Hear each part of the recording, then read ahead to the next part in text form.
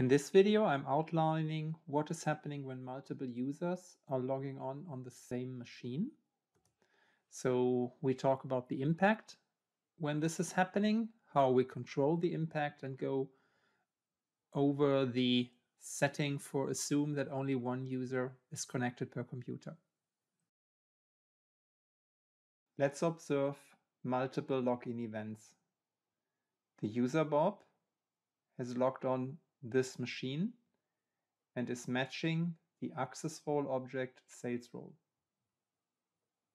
The user Alice has logged on on this machine, matching the access role sales role, and the user money has as well logged on this machine, and he is matching the marketing role.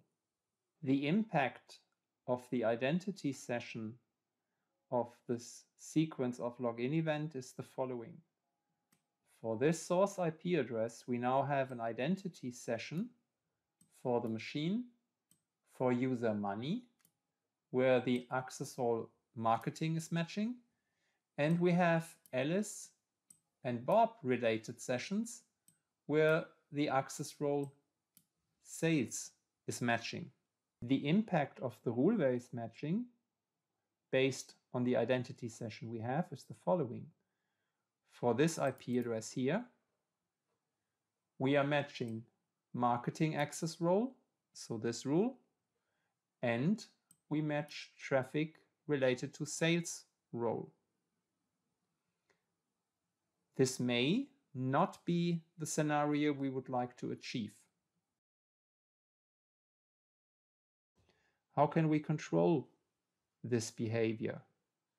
For the identity source AD query, we are able to enable the option assume that only one user is connected per computer.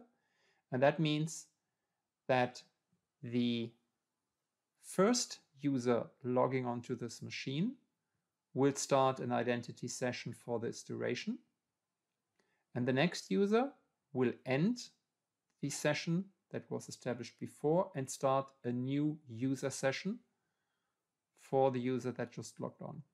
Enabling the functionality to assume that only one user is connected per computer, I can run additional tests. I first have revoked all identity sessions related to this IP, and I've done that using the pdp revoke command. Now I have logged on with the user Bob on this machine, and we see there is an identity session for the machine this is based on this login event. And I have a basic session related for the user Bob related to the sales access role. I now have performed the logon on this Windows computer with the user Money. And you see that at the same time when Money was logging onto the computer, a logout event was generated for the user Bob builder.